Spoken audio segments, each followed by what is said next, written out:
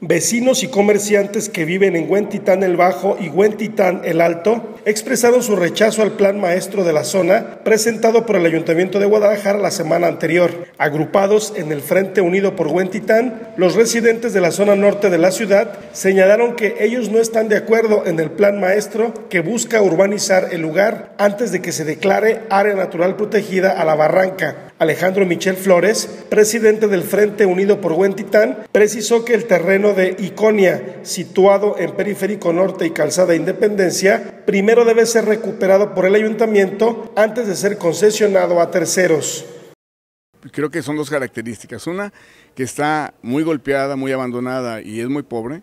Y otra, que tiene grandes grandes eh, territorios que pueden desarrollar las partes inmobiliarias. Entonces yo creo que durante eh, ya varias administraciones, eh, con el plan Voltea la Barranca y con algunos otros planes, se ha pretendido urbanizar incluso este, abajo de la cota 1500. Entonces creemos que es importante tener una, este, un candado para que esas inmobiliarias, esos intereses de particulares por los bienes públicos dejen de estar eh, siendo una amenaza precisamente para esa parte de la ciudad, la parte norte.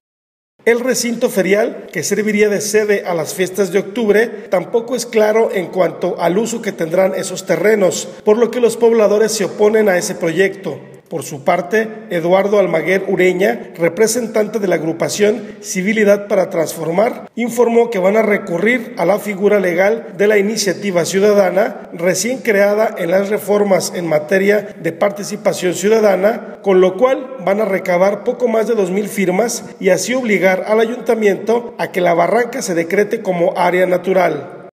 A partir de este plan maestro lo que nosotros estamos eh, revisando es principalmente proteger la barranca de Huentitán a través de eh, impulsarla a través de una iniciativa ciudadana a nivel municipal, el cual eh, requerimos el 0.2% de, de, la lista nominal de Guadalajara este, para impulsar esa iniciativa popular y con este decreto de área natural protegida prácticamente se estaría viniendo abajo lo de, lo de venta de los terrenos de Iconia porque a partir de la medida cautelar estos terrenos ya no, no se podrían construir. ¿no?